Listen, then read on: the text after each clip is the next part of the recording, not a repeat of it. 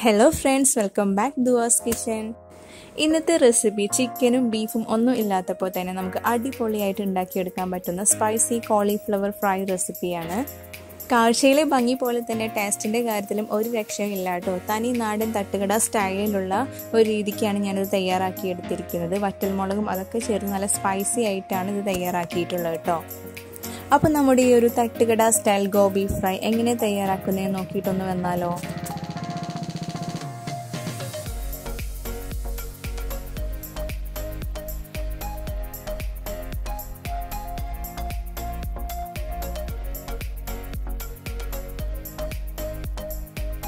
അപ്പം നമ്മുടെ ഗോബി ഫ്രൈ തയ്യാറാക്കാനായിട്ട് ആവശ്യമായിട്ടുള്ള കോളിഫ്ലവർ ഞാനിവിടെ കട്ട് ചെയ്ത് കഴുകി വെച്ചിട്ടുണ്ട്. ഒരു അഞ്ച് മിനിറ്റോളം ചൂടുവെള്ളത്തിലിട്ട് കഴുകിയെടുത്തതാണ് ഉപ്പ് കൂടെ ചേർത്ത് കഴുകിയെടുത്തതാണ്. ഇനി ഇതൊന്ന് നമുക്കൊന്ന് മസാല തേക്കാം. മസാല തയ്യാറാക്കാനായി ഒരു നാലോ അഞ്ചോ വെളുത്തുള്ളി ചതച്ചെടുത്തതാണ് കേട്ടോ. അത് ചേർത്ത് കൊടുക്കാം. അതിന്റെ ഒപ്പം തന്നെ ചെറിയ ഒരു ഇഞ്ചി അതും ഇതുപോലെ ചതച്ചെടുത്തതാണ്. അതുകൂടെ ചേർക്കാം. പിന്നെ ഇതിലെ മെയിൻ ആയിട്ടുള്ള എരിവിന് നമ്മൾ ഉപയോഗിച്ചിരിക്കുന്നത് വറ്റൽമുളകാണ് അതൊരു രണ്ട് ടേബിൾ സ്പൂണോളം ചേർത്ത് കൊടുക്കാം. പിന്നെ ഇതിന്റെ എരിവ് നോക്കിയതിന് ശേഷം എരിവ് കുറവുണ്ടെങ്കിൽ പിന്നീട് നമുക്ക് ചേർത്ത് കൊടുക്കാം.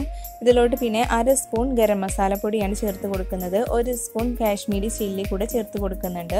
ഒരു ഒന്നര സ്പൂണോളം ചിക്കൻ മസാലപ്പൊടിയാണ് ചേർത്ത് കൊടുക്കുന്നത്. കൂടാതെ ഇതിലോട്ട് കാൽ സ്പൂൺ മഞ്ഞൾപ്പൊടിയും അര സ്പൂണോളം കുരുമുളക് പൊടിയും കൂടെ ചേർത്ത് കൊടുക്കുന്നുണ്ട്. പിന്നെ ഞാൻ ഇതിലോട്ട് ചേർത്ത് കൊടുക്കുന്നത് ഫുഡ് കളറാണ് അത് തികച്ചും ഓപ്ഷണൽ ആണ് കേട്ടോ ഞാൻ ഈ ഒരു വീഡിയോയുടെ ഭംഗിക്ക് വേണ്ടി മാത്രമാണ് ഞാനിത് ചേർത്ത് കൊടുക്കുന്നത്. അത് നിങ്ങൾക്ക് സ്കിപ്പ് ചെയ്യാവുന്നതാണ്. നമ്മുടെ ഈ ഒരു മസാല പൊടികൾ യോജിപ്പിച്ചെടുക്കാനായിട്ട് ഒരു രണ്ട് ടേബിൾ സ്പൂണോളം വിനാഗിരിയാണ് ചേർത്ത് കൊടുക്കുന്നത്. വിനാഗിരിക്ക് പകരം ചെറുനാരങ്ങ നീരും ആവാട്ടോ പിന്നെ ഒരു രണ്ട് ടേബിൾ സ്പൂണോളം പച്ച വെളിച്ചെണ്ണയാണ് ചേർത്ത് കൊടുക്കുന്നത്. ഇവ രണ്ടും കൂടി ചേർത്ത് നന്നായിട്ടൊന്ന് മിക്സ് ചെയ്തെടുക്കാം. മിക്സ് ചെയ്ത് എടുക്കുന്നതിന് മുന്നേ ഞാൻ ഇതിലോട്ട് ആവശ്യത്തിന് ഉപ്പ് കൂടെ ചേർത്തിട്ടുണ്ട്. ഇനി ഇവ രണ്ടും ഒന്ന് മിക്സ് ചെയ്തെടുക്കാം.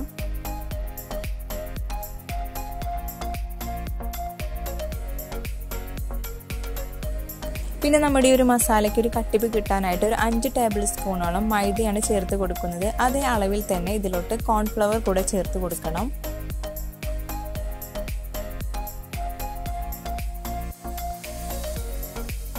പിന്നെ ഞാൻ ഇതിലോട്ട് ചേർത്ത് കൊടുക്കുന്നത് ഒരു രണ്ടര ടേബിൾ സ്പൂണോളം അരിപ്പൊടിയാണ് നമ്മുടെ സാധാ പത്തിരിക്കും പുട്ടിനും ഒക്കെ തയ്യാറാക്കിയെടുക്കുന്ന പൊടിയുണ്ടല്ലോ. അതാണ് ചേർത്ത് കൊടുക്കുന്നത്.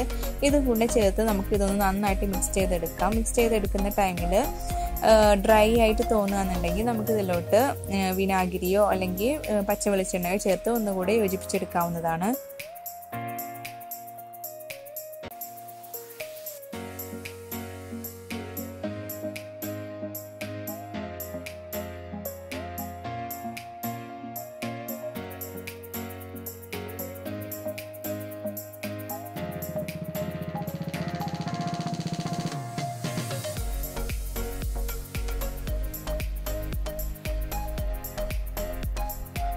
അപ്പോൾ നമ്മുടെ മസാലക്കൂട്ട് ഇവിടെ തയ്യാറായിരിക്കുകയാണ്. അപ്പോൾ നമ്മൾ നേരത്തെ മാറ്റി വെച്ച കോളിഫ്ലവർ ഉണ്ടല്ലോ അത് ചേർത്ത് നന്നായിട്ടൊന്ന് ഇളക്കി യോജിപ്പിച്ചെടുക്കുക. നന്നായിട്ട് മസാല പിടിക്കുന്ന വിധത്തിൽ വേണം ഇതൊന്ന് യോജിപ്പിച്ചെടുക്കാനായിട്ട്.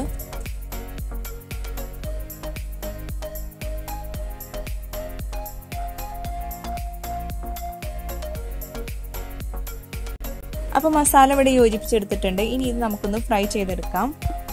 അപ്പോൾ ഫ്രൈ ചെയ്യാനായിട്ട് ഒരു പാനിൽ വെളിച്ചെണ്ണ ഒഴിച്ച് ചൂടാക്കി വെച്ചിട്ടുണ്ട്. വെളിച്ചെണ്ണയാണ് കേട്ടോ ഏറ്റവും നല്ലത്. ഒരു തനി നാടൻ രുചി കിട്ടണമെന്നുണ്ടെങ്കിൽ വെളിച്ചെണ്ണയാണ് ഏറ്റവും ബെസ്റ്റ് അപ്പോൾ നമ്മളിവിടെ ചൂടായ എണ്ണയിലോട്ട് മസാല തേച്ച് വെച്ച കോളിഫ്ലവർ ഇട്ട് കൊടുത്ത് നമുക്ക് രണ്ട് ഭാഗം തിരിച്ചു മറിച്ചിട്ട് ഒന്ന് ഫ്രൈ ചെയ്തെടുക്കാം. അപ്പോൾ ഇത് മീഡിയം ടു ഹൈ ഫ്ലെയിമിലിട്ട് ഇത് ഫ്രൈ ചെയ്തെടുക്കാവുന്നതാണ്.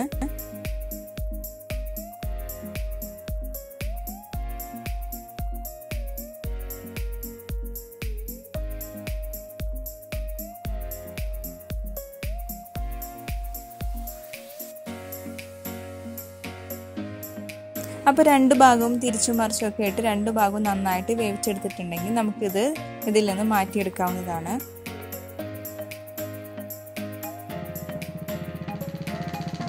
പിന്നെ ഫ്രൈ ചെയ്ത അതേ എണ്ണയിൽ തന്നെ രണ്ട് പച്ചമുളക് നടു കീറിയെടുത്തതാണ്. അത് കുറച്ച് കറിവേപ്പിലയും കൂടി ഒന്ന് വറുത്തെടുക്കാം. ആ ഒരു പച്ചമുളക് ഫ്രൈ ചെയ്തെടുത്തതിന്റെ മണമൊക്കെ കോളിഫ്ലവറിൽ ഉണ്ടാകുമ്പോൾ ഒരു പ്രത്യേകതരം രുചിയാണ്.